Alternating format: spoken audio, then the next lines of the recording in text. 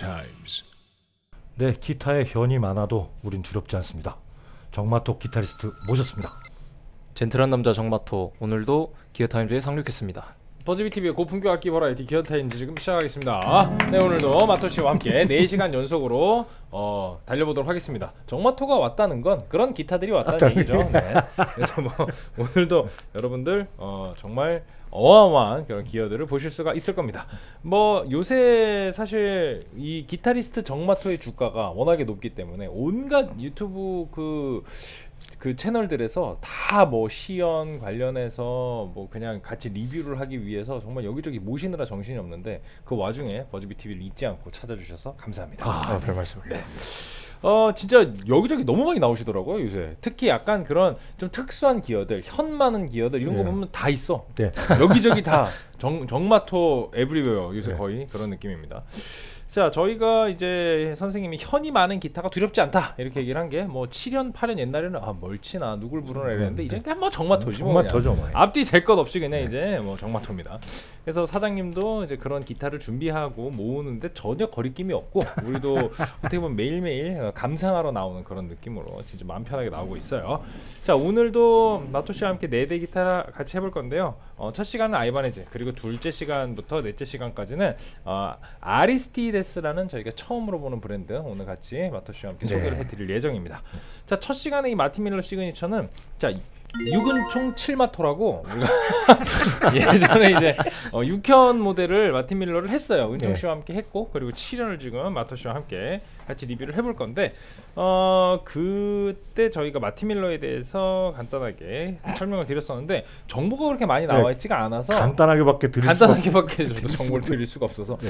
그 솔로 기타리스트고 밴드를 따로 이제 뭐 세션으로 종종 협연하고 하시긴 하는데 따로 뭐 이제 뭐 정규 밴드 활동을 하고 있는 건 없고 근데 지금 요즘의 기타 동호회에서 네. 상당히 각광받는 분이더라고요. 그 기타를 되게 정석적으로 잘 치는 사람, 그냥 진짜로 물리적으로 기타를 잘 친다라는 느낌에 정말 부합하는 음. 딱 그런 기타리스트라 그 예전에 우리가 거스리 고반 나왔을 때 되게 약간 문화 충격인 그런 느낌이 있었잖아요. 네. 그 다음에 이제 나온 뭔가 약간 또 문화 충격적인 기타리스트라고 하면은 사람들이 마틴 밀러를 바로 꼽을 정도로 그만큼 임팩트가 있는 alternate full picking의 달인. 어, 아, 그래서 얼달, 얼달. 네, 얼달 마티 밀러 선생.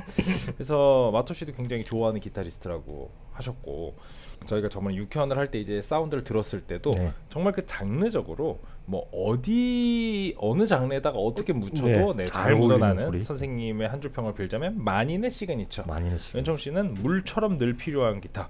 저는 약간 일본 재료를 미국식으로 표현했다 해서 캘리포니아 롤. 롤. 네, 어. 이게 어, 독일 기타리스트 그리고 약간, 약간 미국적인 사운드를 made in Japan을 한 약간 그런 예, 느낌이죠. 그, 어우. 네.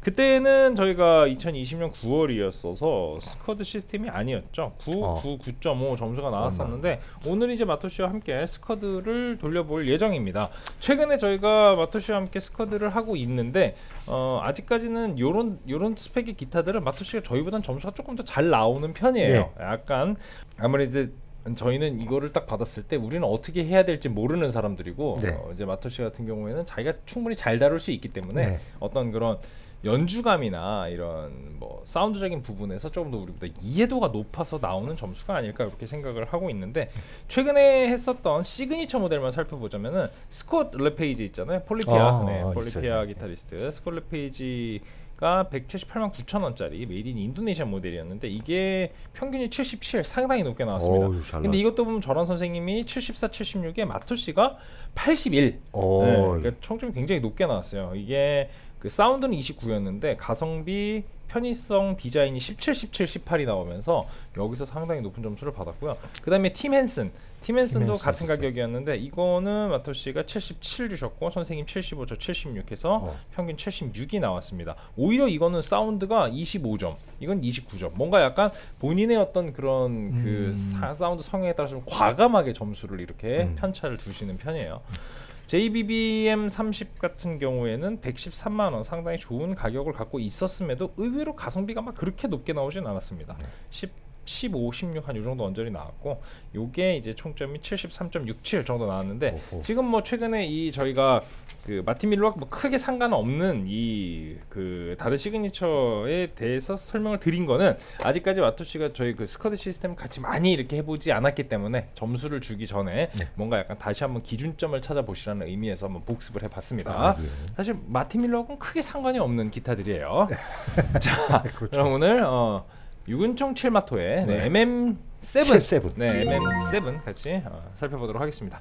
376만 9천 원이고요. 잠깐만 이게 마틴 밀러 6현이 마틴 밀러 6현이 349만 9천 원.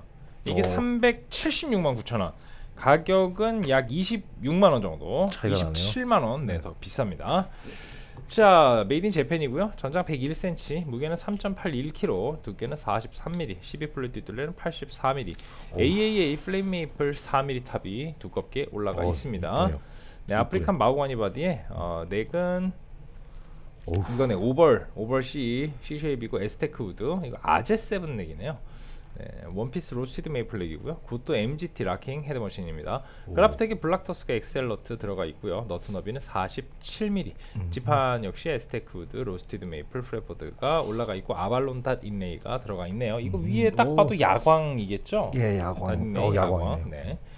어 305mm 지판 곡률 반지름 가지고 있고요. 지판 곡률 반지름이 의외로 막 그렇게 빤빤하지 네, 않아요. 빤빤하지 400 않아요. 아닙니다. 305예요. 보이네요. 네, 약간 스케일 좀. 길이는 648mm고요. fret은 24 점버 스테인리스 스틸. fret에 어, Prestige fret edge treatment가 들어간 모델입니다. 픽업은 Seymour Duncan의 Hyperion 7 humbucker 두 개 들어가 있고요. one volume one tone의 5 way 픽업 selector dyna-MIX 10입니다. 브릿지는 고도의 T1872S 브릿지가 들어가 있고요. dyna-MIX 10 뭐 또 이제 여러분들이 뭐 하도 많이 보셨고 익숙하시겠지만 그래도 한번 복습을 해보도록 하겠습니다. 자 dyna-MIX 10 설명드릴게요. 네. dyna-MIX 10은 일단 alter 스위치가 꺼져 있는 기본 상태에서는 네. 어, bridge 1단에다가 놓게 되면 bridge humbucker 네. 네, 2단에다 놓게 되면은 브릿지와 4개 어, 이너 사이드 브릿지의 아우터 사이드 4개 이너 아니 넥도 아우터 사이드 둘 다 아우터 사이드가 먹게 돼요. 어. 네. 그 다음에 middle에다 놓게 되면 쌍hum 어, 4단에다 놓게 되면은 둘 다 inner side.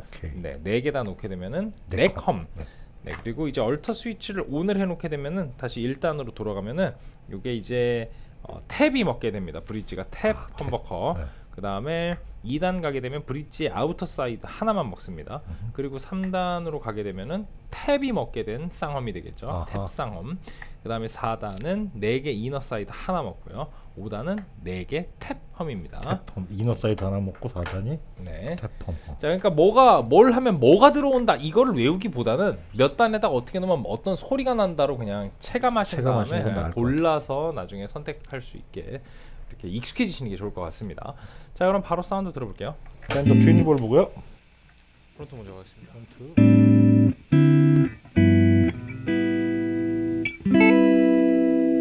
오, 야.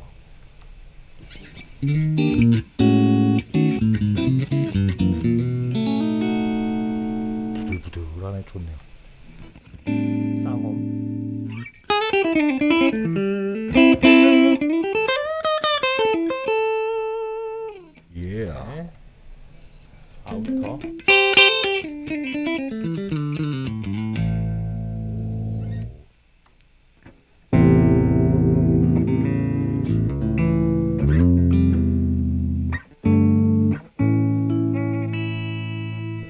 기본 7연 튜닝인가요? 아, 요거는 기본 7연 튜닝에서 7번 줄만 내려서 drop A 튜닝입니다. 음, 그렇군요. 오. 네, B에서 A로 내린. 이제 on 했습니다. 그러면 이제 front tap이죠. 예. 네.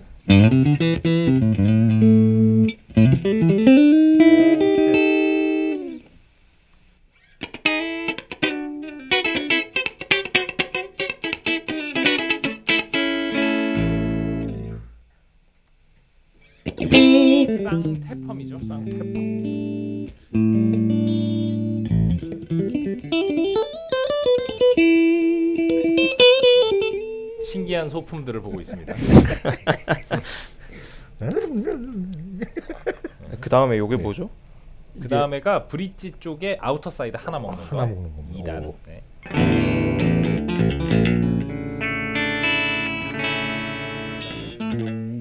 bridge tap hum.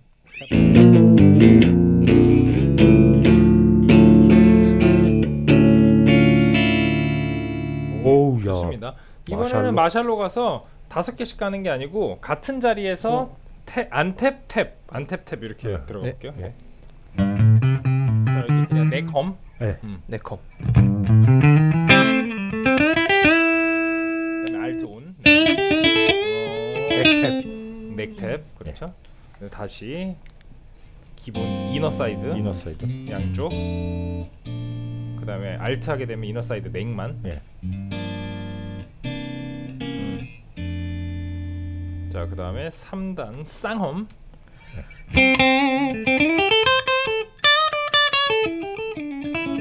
쌍tap hum.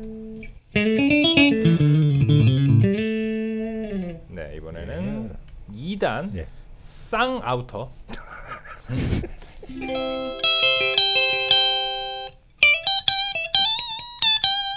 bridge outer. 네. 음, bridge hum.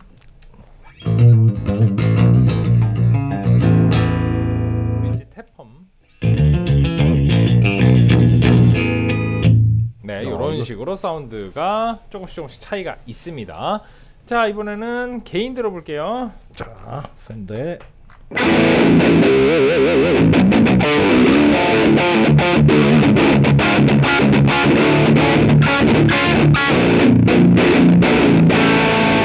좋아요. 레드락스 들어볼게요. 아, 레드락.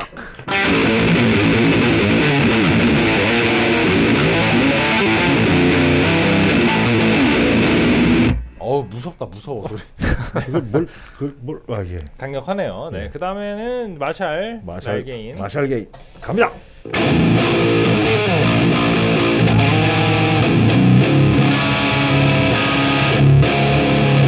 오, 오, 멋있습니다. 자 이번엔 공간계 넣어가지고 클린톤부터 조금씩 올라가 볼게요.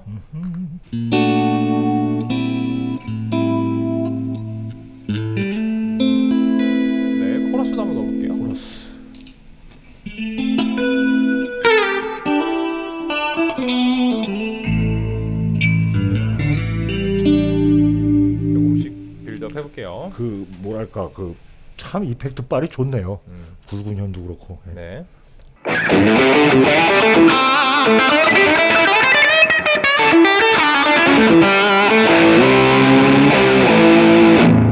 레드락스 솔로 톤 들어볼게요. 이야.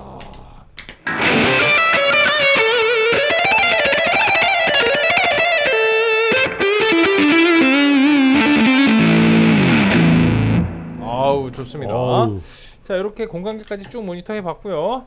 이렇게 이게 그 확실히 그 지난번에 들었을 때는 굉장히 그런 어떤 뭐 만인의 시그니처 범용적인 그런 사운드적인 특징이 좀 강조된 느낌이었는데 오늘 7연으로 놓고 보니까 그런 묵직한 사운드도 굉장히 잘 잘 뽑아주고 그리고 이게 지금 drop A라서 그런지 더더욱이나 그런 그 네, 묵직해. 공격적인 그런 느낌. 근데 drop A로 해놨는데도 기본적으로 사운드가 아주 깔끔하고 음. 네, 구획이 명확한 하이엔드 사운드가 확실히 나오네요. 자, 이렇게 MM7 기본 사운드 모니터 해봤고요. 이건 어떤 곡 들려줄 건가요? 요걸로는 Novelists의 네, Gravity라는 곡을 들려드리려고 Gravity. 합니다. 노, Novelists의 Gravity. 네, 듣고 오도록 하겠습니다. 뿅.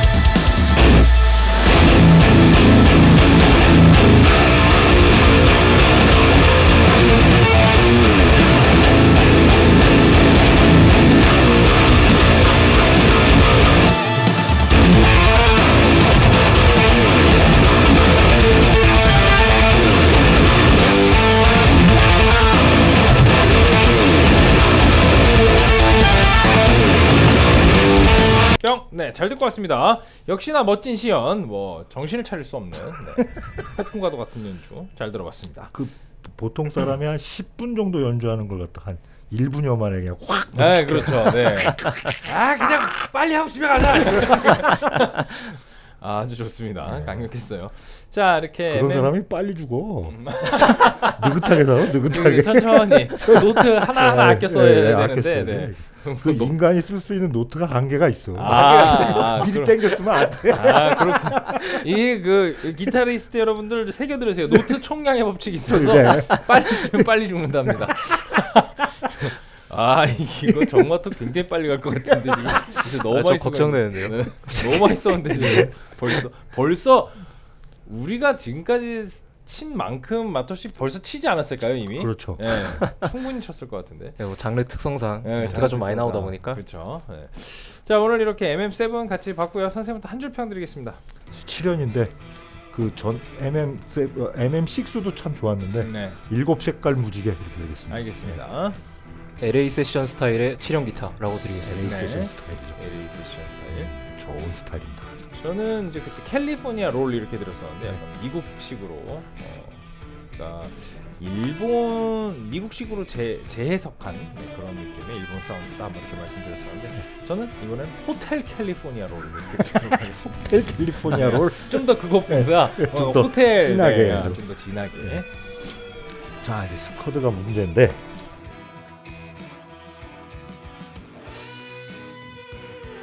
네 squad 발표하겠습니다. 조동- 이 마토 씨랑 같이 squad를 하면 재밌는 게 굉장히 다채롭게 나와요 네. 점수가.